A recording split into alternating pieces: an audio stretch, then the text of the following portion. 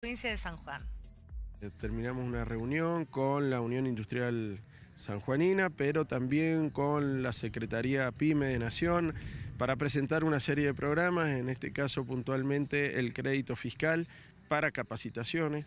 Es una herramienta que pueden tomar todas las empresas sanjuaninas, queda todavía un mes y medio de convocatoria y van a poder financiar o recibir un aporte no reintegrable, digamos un subsidio para la capacitación de su personal en las distintas temáticas que quieran presentar.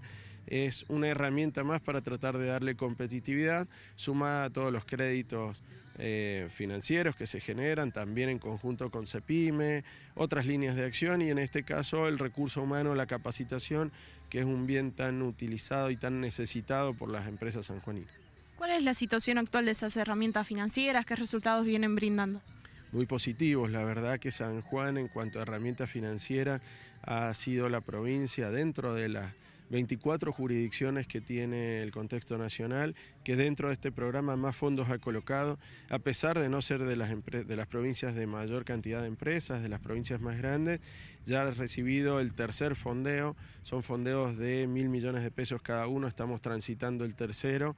Eh, con una apuesta por el sector privado de poder seguir invirtiendo, con un doble subsidio de tasa de nación y de provincia, lo cual hace muy competitiva a cada una de estas herramientas.